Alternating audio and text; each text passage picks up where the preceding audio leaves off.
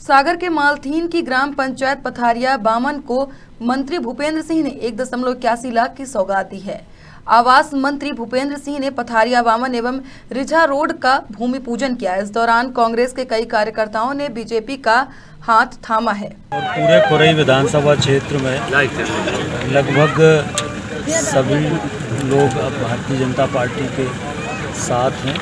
अब अन्य कोई दल खुरई विधानसभा क्षेत्र में नहीं है। और विकास के कारण सब लोग भारतीय जनता पार्टी के साथ हैं।